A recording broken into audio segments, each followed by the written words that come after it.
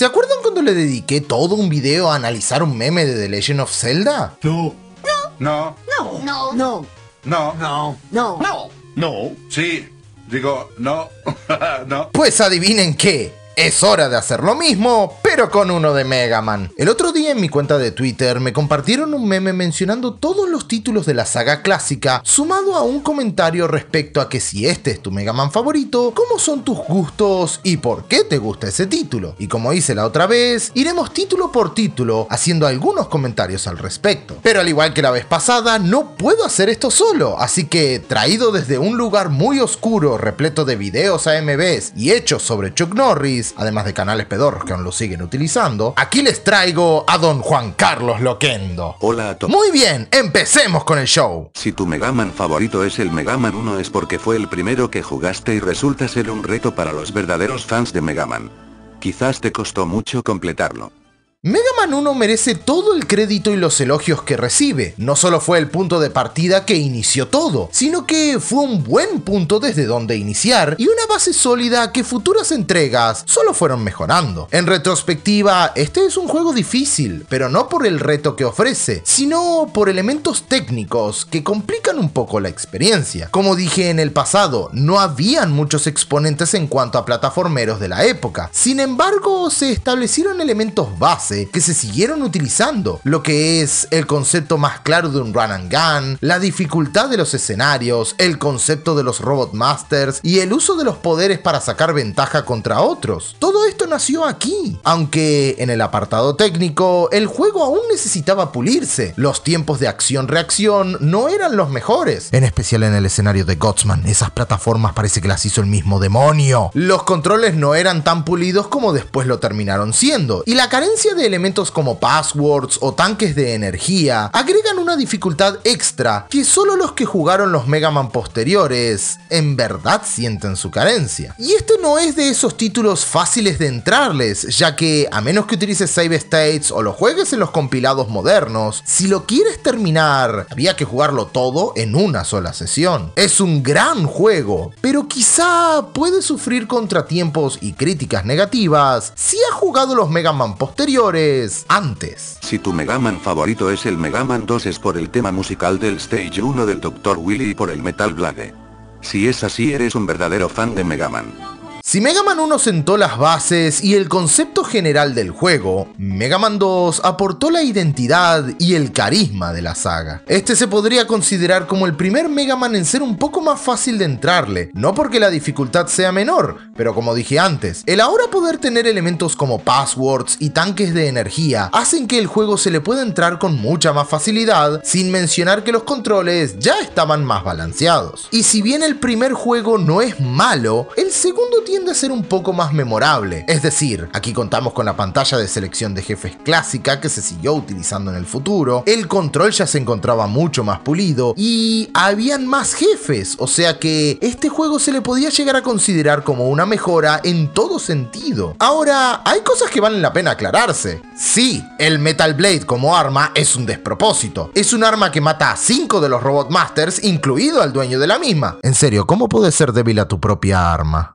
Además consume muy poca energía, dispara hacia todas las direcciones, se carga muy rápido, podés llegar a spamearla, o sea, esta arma le baja mucho la dificultad al juego y hasta sentís que estás haciendo trampa con la misma. Pero bueno, ahí está. Si quieren úsenla y si no, no la usen. Impónganse el reto. En cuanto a la música, si bien de nuevo la del primer juego no era mala, carecía un poco del factor memorable. No es lo mismo un tema bueno a uno memorable. Y el tema del castillo de Willy es ambos. Fue tan popular este tema que terminó convirtiéndose en el tema insignia de Mega Man clásico, un elemento nacido en este juego que le termina dando más prestigio. Si tu Megaman favorito es el Megaman 3 es porque es un Megaman muy largo pero resulta que tienes un gusto algo raro por las entregas muy poco duraderas. Una creencia bastante popular es que de las entregas de 8 bits, los Mega Man 2 y 3 han peleado por el argumento de ser el favorito, o mejor dicho, el mejor. Y cuando se trata del 3, muchos tienden a argumentar que se debe a lo largo de este juego. Sí, Es verdad, el juego es bastante largo. Tenemos los 8 escenarios base, después hay que rejugar 4 de estos escenarios con assets cambiados y los jefes del Mega Man 2, para luego pasar a los escenarios del castillo de Willy. Aún así, y seguramente no debo ser el único, no siento que el juego sea necesariamente largo, sino más bien que el mismo tiene una buena duración al saber aplicar variedad a los niveles sin tornarse repetitivos en ningún momento, algo que habla mucho en su favor. En cuanto a mecánicas, este juego incorpora dos elementos que serían estándar en futuras entregas, Rush y sus mejoras, y el uso de la barrida. Estos dos elementos, por más simples que sean, cambian completamente la estructura y el diseño de los niveles, adaptando nuevos retos que requerirán que uses sí o sí estas mejoras. Personalmente este es mi Mega Man clásico favorito, pero no por desprestigiar a las demás entregas. Este juego tiene un valor personal para mí, al ser el primero que completé. En todo caso, este Mega Man, digamos que ya sentó la base de cómo Mega Man debe ser al ya disponer de la mayoría de sus habilidades estándar. Si tu Mega Man favorito es el Mega Man 4 es porque tienes unos gustos de mierda. sí. Ay, mierda, aquí vamos de nuevo. ¿Seguros que este meme no viene de una de esas páginas? Veamos, Mega Man 4 fue el primer juego de la saga en ser criticado por lo repetitivo y ser más de lo mismo, y créanme que veremos mucho de esta crítica en los siguientes títulos. Para aquellas personas que vienen jugando todos los Mega Man de corrido y en orden, algo que considero muy inusual ya que en esa época llámate afortunado si podías tener un juego de Mega Man, este tipo de crítica nació de reseñas de revistas que afirmaban que todos los Zeldas eran juegos de RPG, así que vayan llevando. La cosa es que tras ya tres buenos juegos, la cuarta entrega optó, en lugar de innovar, tratar de mejorar y pulir lo ya establecido, agregando un par de assets como elementos extra, como lo fue el Mega Booster, que si bien es una buena arma, créeme que no es de extrañar si nunca la terminas utilizando, y Eddie, que te recompensa con algún ítem que otro en áreas específicas. Este juego ya cuenta con un apartado visual y musical mucho más pulido, dando a notar la mejora de la época, además de gozar de colores mucho más brillantes. Y en cuanto al apartado de Robot Master, esto es algo que repito siempre y parece que nadie en verdad nota, pero este juego es el primero en introducir un círculo de debilidades con los jefes. ¿A qué me refiero? En entregas anteriores habían armas con las que podías dañar a más de un Robot Master, o simplemente habían como círculos cerrados entre los robots o la necesidad de cierto ítem que perjudicaba el poder llevar un orden apropiado. El cuarto, en cambio, es el primero en establecer todo un círculo completo, elemento que se respetó a partir de este título. Mega Man 4 no es un mal juego, para nada, y posee una calidad igual a la de los demás títulos, si no es que mejor. Es decir, si nos basamos en apartados técnicos, este sería el Mega Man superior hasta el momento. Pero las críticas técnicas y objetivas no son lo que la gente busca, ¿verdad? Porque si no estaríamos cagados. Si tu Mega Man favorito es el Mega Man 5 es porque eres un raro con la franquicia de Mega Man, cuando sabes que aquí en este juego no existen los buenos power-ups, no sabes razonar, sabiendo que es la peor entrega, y lo sabes. Algunas cosas nunca cambian, en serio. Hay fans que piensan que los Mega Man 2 y 3 son lo mejor del mundo y todo lo demás es basura. Pues, qué mentalidad de mierda. Seguramente son esas personas que les encanta olerse sus propios pedos de tan metida que tienen la cabeza dentro de su propio culo. El Mega Man 5, siendo este uno de los juegos más criticados por lo poco versátil de las armas de los Robot Masters, creo que es uno de los que posee de los mejores diseños de niveles, incorporando gimmicks como lo son el cambio de gravedad, pantallas móviles, baja gravedad y retos poco usuales, además de tener una muy buena dificultad, viniendo de la quinta entrega. Este juego además mejoró el Mega Booster, haciéndolo una de las armas más confiables e instintivas de usar. Critican las armas cuando técnicamente aquí está una de las mejores versiones del Mega Booster. Mm, bastante irónico. Sí, como dije antes, les encanta olerse sus propios pedos. Pasando a la mejora gráfica, esta se da a notar aún más que con el título anterior, explotando cada vez más las capacidades de la NES. Este fue mi primer acercamiento con Mega Man en juegos, y si no fuera por este título, quizá ni siquiera estaría aquí como youtuber, y como primer Mega Man, es un excelente título, conciso y sentando grandes bases. No le veo ningún inconveniente a este juego. Si tu Megaman favorito es el Megaman 6 es porque eres raro, créeme, muy raro. A que no te esperabas que Mr. X era en realidad el Dr. Willy. Vivimos en una época tan artificial que los favoritismos solo se pueden basar en aspectos tan técnicos que argumentos como el haber sido el primer título que conociste, o que jugaste, o que hayas completado, no tienen cabida, ni tampoco razones simples como el que te gusten los diseños de los jefes, o que los gráficos se te hagan bonitos. Estos parecen ser argumentos disparatados hoy en día. Fuera de joda, es como que vengan y te digan que las hamburguesas cocinadas al horno son superiores por los valores nutricionales que posee, y por ende, eres una persona rara si te gustas cocinarlas a la parrilla, o eres aún más raro si utilizas argumentos como que te gustan las hamburguesas a la parrilla por el sabor ahumado que tienen. Así de ridículos son estos argumentos cuando critican diferentes juegos de Mega Man simplemente por aspectos técnicos, como lo es el diseño de niveles. Pero bueno, enfoquémonos en el juego en sí. Si juegas los Mega Man clásicos buscando tramas complejas, continuidad de eventos y plot rebuscados, estás jugando la saga equivocada. O sea, se da a entender que estos juegos, donde brillan, es en su gameplay y diseño de niveles, no en sus tramas. En resumidas cuentas, la trama es simplemente una excusa para poner 8 Robot Masters, un castillo de Willy y nada más. En cambio, si nos fijamos en los buenos aspectos de este Mega Man, este es el más visualmente desarrollado, con el gameplay ya pulido y las incorporaciones de las armaduras de Rouge, sumado a la ambientación internacional del juego, hacen que Mega Man 6 sea una experiencia disfrutable y completamente justificable de que te guste. Si tu Megaman favorito es el Megaman 7 es porque es la única entrega de la saga clásica en la Super Nintendo. Si te compraste esto para tu Super Nintendo debiste comprarte la trilogía de la saga X y no esta basura, idiota. Y luego se preguntan por qué hice una defensa al Mega Man 7 si es tremendo juego, pues por idiotas como estos. Antes de hablar del juego, hay dos cosas que me llaman la atención. ¿El único juego de la saga clásica en la Super Nintendo?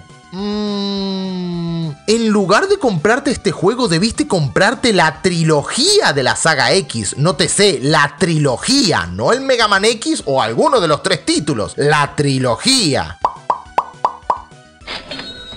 Bueno, al ser la única entrega en la Super Nintendo, salta enseguida a la vista el salto gráfico. Y si bien ya expliqué en mi defensa cómo esto funciona tan bien, digamos que si la saga clásica tenía que saltar de los 8 a los 16 bits, lo hizo de gran manera. El juego se ve y se siente como un Mega Man clásico, con la edición de mejores gráficos, efectos de sonido, etc. Todo lo que conlleva la evolución de una consola a otra. Además, el juego incorpora mayores elementos de exploración, sumado a una buena cantidad de desbloqueables, la incorporación de nuevos personajes al canon que se convertirían en favoritos de algunos. Basura, ¿eh? ¿Quieren que siga? Buena música, gráficos bien diseñados, farmeo, buen uso de las armas de los jefes, nuevas mejoras de Rush, la mejor armadura para Mega Man, farmeo, sprites muy bien animados, gran nivel de dificultad, farmeo, uno de los mejores endings, ah, y casi lo olvido, farmeo, basura. Luego piensan que la comunidad de Mega Man no es tóxica. Si tu Megaman favorito es el Megaman 8 es porque si te gusta o lo jugaste mucho es porque te llamó la atención que fuera el único con cinemáticas tipo anime. A que le metieron muchas ganas a la voz de ese sprite de Megaman con cara de sueño. Antes que nada aclararé una cosa. El hecho de que el Mega Man 8 no me guste no significa que no pueda reconocer los puntos positivos de este juego. Aunque lo haya aclarado un montón de veces, una vez más nunca viene mal. Aunque tampoco va a alcanzar. El Mega Man clásico ha tenido una época bizarra durante la era de los 32 bits, siendo esta era principalmente la transición de los cartuchos a los discos. Y con la necesidad que había de mostrar las capacidades que los discos tenían, habían cosas que debían ponerse sí o sí, y con esto me refiero a las cinemáticas. No les voy a mentir, este es un enganche casi inmediato para la época, y por más que la actuación de voz sea atroz, That's a good question. Este es un detalle el cual de niños no notábamos. Uno, porque no nos importaba. Dos, porque seguramente tres cuartas partes de ustedes ni siquiera sabían inglés. Y tres, lo más importante eran las cinemáticas en sí, no lo que decían. Dejando esto de lado, Mega Man 8 en cuanto a elementos de gameplay se controla tal y como te imaginas que un Mega Man se controlaría si este pasase a los 32 bits, sumado a que la carencia de power-ups es compensada en parte por las armas de los Robot Masters, siendo no solamente ofensivas, sino que la gran mayoría cumple con algún gimmick extra que te permite obtener algún que otro tornillo. Y si bien me quejé de la limitancia de los tornillos, puesto a que no podés obtener todos los power-ups, se podría decir que esto se presta para experimentar y probar poderes hasta alcanzar la combinación que más te guste, haciendo que la experiencia entre partidas sea un tanto diferente. Eso sí, este juego fue pensado para que te tome más tiempo el completarlo, de lo que fueron los antecesores en 8 bits, siendo cada escenario de una considerable duración y cada uno incluyendo diferentes tipos de obstáculos. Ay, esto también incluye los malditos segmentos en el deslizador.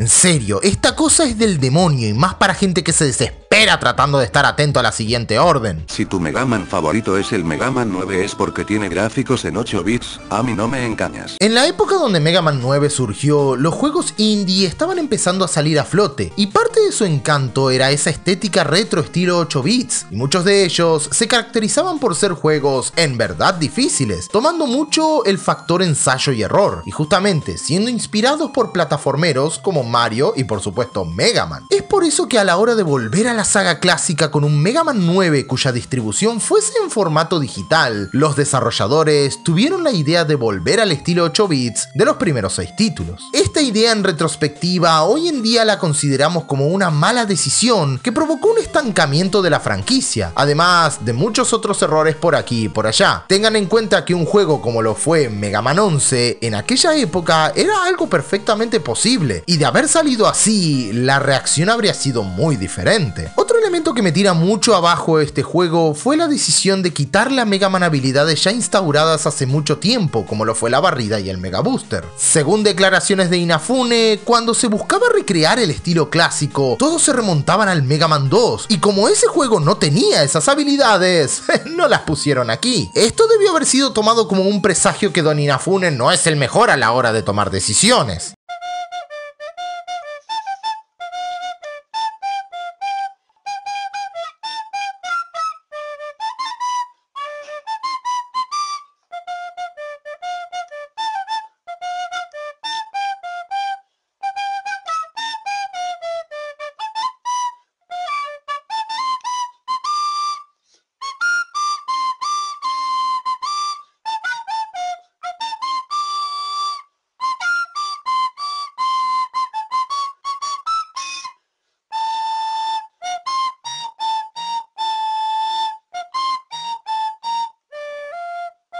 Lo peor es que después me echaron a Protoman como DLC teniendo las habilidades de Mega Man. Pero bueno, ya dejando toda la rabieta de lado, este juego, como mencioné al inicio, intentó capitalizar en el creciente mercado indie. Y si nos ponemos a analizarlo, hasta parece un juego indie. No porque parezca desarrollado por pocas personas, sino en el factor de ser un juego inspirado en la era de los 8 bits, siendo un título muy difícil, casi al punto de considerarse un título de ensayo y error. Ahora, sin la limitancia de las capacidades de la NES, pese a ser un juego de 8 bits, este cuenta con un apartado visual ciertamente más colorido. No posee problemas de lag por pantalla saturada y las pistas de audio gozan de uno que otro bit extra de sonido, llegando a tener varios temas memorables. Y si bien este juego carece mucho de los desbloqueables extra, lo compensan mucho con la versatilidad y la utilidad de las armas de los Robot Masters, haciendo que en verdad te esfuerces para tratar de obtenerlas y facilitarte un poquitín el juego. Ciertamente no es un mal título, para nada, solo que con el trasfondo de lo que la saga clásica era, había una gran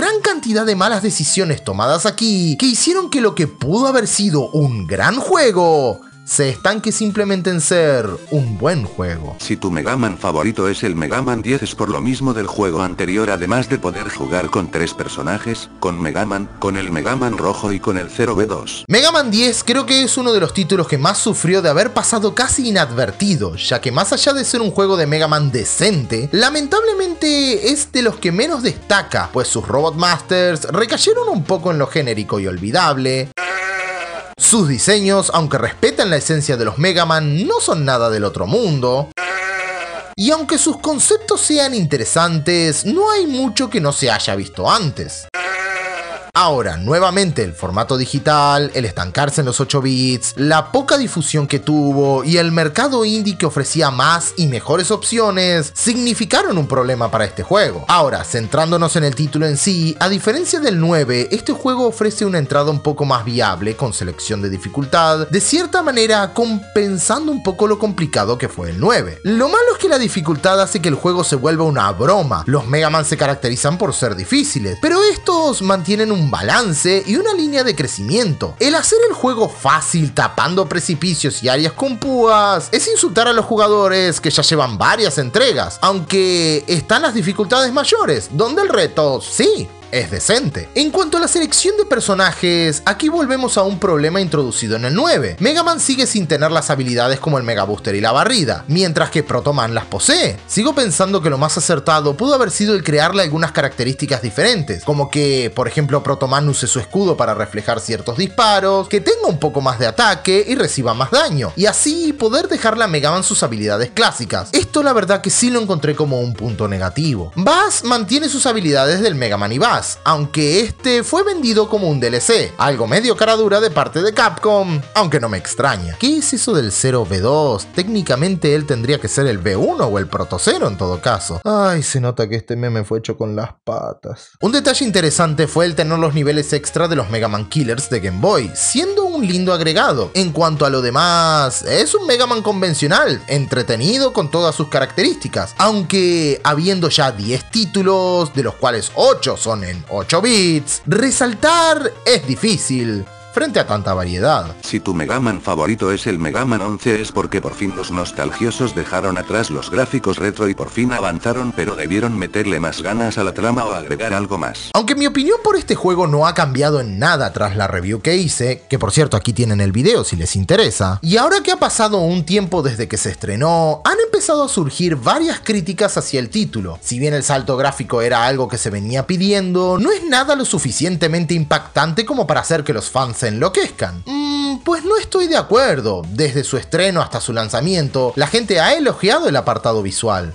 Que Mega Man no es una saga que presuma los mejores gráficos de la plataforma, sino más bien el sorprender a la gente mostrando que con poco se puede hacer mucho. Otra crítica de este juego fue la falta de profundidad de su historia, el que no sea un cierre de la saga, el que Zero no aparezca. Oh. Les recuerdo lo que les dije sobre el Mega Man 6, 5 títulos atrás. Los Mega Man clásicos no brillan por su trama. La trama es nada más que un medio para establecer el mismo formato una y otra vez, 8 Robot Masters y un confrontamiento con Willy. Si bien algunos títulos dejan entrever que los personajes, o mejor dicho, el mundo en sí da para más, no necesariamente en los mismos juegos debe explorarse. Yo por lo pronto estoy conforme con ver ideas exploradas en otros medios, ya sea ovas o cómics, y disfrutar de un juego clásico en cada entrega. De ninguna manera Mega Man 11 iba a ser un parteaguas, un juego revolucionario que cambie la perspectiva de los fans de Mega Man hasta la fecha, un juego que cambie toda concepción del bombardero azul como la teníamos imaginada, ni mucho menos este sería el título de cierre de una franquicia muy grande, como para terminar tras 30 años de su creación. Mega Man 11 es un juego entretenido por méritos propios, que fusiona elementos clásicos de la saga con aportes nuevos como el sistema de doble mega, cuya trama nos da un poquito más de trasfondo y nos permite tener una nueva historia que disfrutar y, por qué no, más historias a futuro. Cuando se tratan de juegos como Mega Man, no todas las sagas necesitan un final fijo, y más si se conoce lo que el futuro les depara. No siempre es necesario saber la transición entre un título y otro, sino más bien preocuparse porque haya espacio para más títulos y con eso más aventuras. Y eso es Mega Man 11, una aventura más, elemento que me parece perfecto. En conclusión, muchachos, piensen un poco, sea cual sea de los 11 juegos de Mega Man su favorito, el simple hecho de que les guste es razón suficiente para justificarlo. Cada entrega tiene puntos buenos y malos, y los mismos dependerán del punto de vista de cada persona, y eso está bien. A mí me gustan el 3, el 4, el 7 y el 11, y no me gusta el 8, y así como cualquier otro te diría su orden de juegos favoritos, es genial el ver las experiencias y opiniones de por qué les gusta cada juego. Últimamente los en especial en el campo de las reviews, se está viendo manchada por la necesidad de puntos de vista objetivos, esa necesidad de despreciar títulos por aspectos técnicos, el cómo un juego es superior a otro en tantos aspectos que debe ser sí o sí tu juego favorito. Y si no estás de acuerdo con eso, enseguida debe ser ridiculizado. Se dan cuenta que esa mentalidad solo lleva a la gente a que tenga gustos cada vez más genéricos y se terminen perdiendo elementos como lo es el cariño, la pasión y el entusiasmo por disfrutar diferentes juegos y lo que ofrece cada uno. Mega Man es el ejemplo perfecto de que no importa el título que sea, si te gustan algunos y otros no, las razones que das son perfectamente válidas porque están ligadas a tu experiencia personal y si las quieres compartir, los demás no tienen por qué seguirlas, sino más bien compartir las suyas. El criticar, discriminar e insultar a otros por sus gustos es algo muy retrógrado, casi comparable al punto de la xenofobia, algo muy triste la verdad, y que ocurre cada vez más hoy en día. Es por eso que cuando yo doy mi opinión y hago videos, no busco influenciar a otros, no busco que a otros les guste lo que a mí me gusta, sino que sean testigos de por qué me gusta algo e invitarlos a compartir sus propias experiencias. Me parece estúpido el decir que tal juego es el mejor de todos, y más aún que estás mal por pensar lo contrario, sino más bien decir que a mí me gusta este título por tal motivo e invitarte a ti a que me digas cuál es el tuyo. Memes como este son solo una muestra de que hoy en día la gente está perdiendo su opinión propia y solo enfocan sus gustos a lo que los demás dicen, perdiendo poco a poco lo que nos hace únicos y haciendo a los medios cada vez más genéricos. Esto es todo. No quise terminar en una nota tan triste, pero dados los recientes eventos que quienes estén al pendiente sabrán, entenderán el porqué de este video. Mi intención aquí es simplemente divertirme, haciendo lo que me gusta hacer. Y si a algunos les molesta, solo puedo sentir lástima por Sígueme en mis redes sociales. Soy Dustman y les digo, cuando se trata de gustos y favoritismos, no es malo escuchar a otros, siempre y cuando, al último que escuches, sea a ti mismo.